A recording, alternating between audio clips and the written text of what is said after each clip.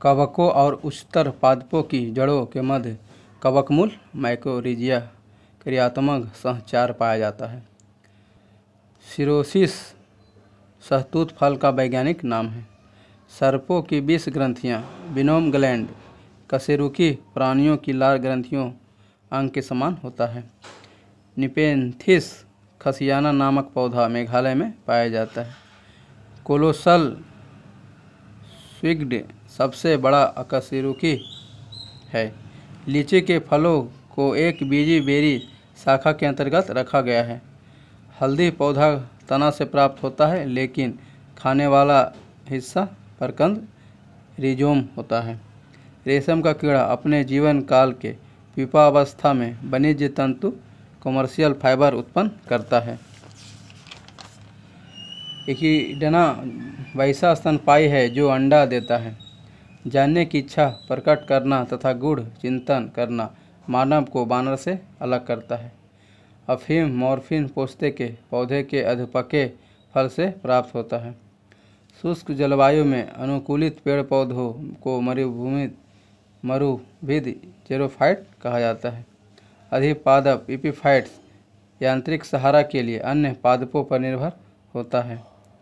टिक और माइट मकड़ी वंश से संबंधित है। जुगनू की चमक ल्यूसीफेरा के कारण होती है। सन हेम्प जूट फ्लोएम से प्राप्त होता है। लेग हीमोग्लोबिन लेगियोम मूल ग्रंथि में पाई जाती है। जय विकास के पक्ष में जीवाश्मों से प्रत्यक्ष प्रमाण प्राप्त होते हैं। जीवों के उद्विकास के संदर्भ में सैलामेंडर, अजगर, कंगारू अनुकर्म सही है। कॉकरोच और सिल्वर फ़िश में खुला परिसंचरण तंत्र होता है। स्तनपायी भूर्ण के उत्सर्जनीय उत्पाद, अपरा यानी प्लेसेंटा द्वारा उत्सर्जित होता है। विज्ञान के पैलियंटोलॉजी शाखा के अंतर्गत जीवाश्मों का अध्ययन किया जाता है। नमक युक्त मिट्टी में उगने वाले पादप हेलोफाइट कहलाता है। लिग्निन नामक पौधा जाइलम उतक पर जमा होता है। डीएनए संश्लेषण तथा हिस्टोन प्रोटीन कोशिका चक्र की इस अवस्था में बनते हैं। डूबने से हुई मृत्यु का पता लगाने के लिए डाइटम जीव का प्रयोग होता है। वे जीवाणु जो वायुमंडलीय नाइट्रोजन को नाइट्रोजन के यौगिक में परिवर्तित करते हैं। नाइट्रोजन स्थिकारी जीवाणु कहलाता है। अधिक नमक वाले अचार में जीवाणु जीवदर्भ कुंचित होकर मर जाते हैं।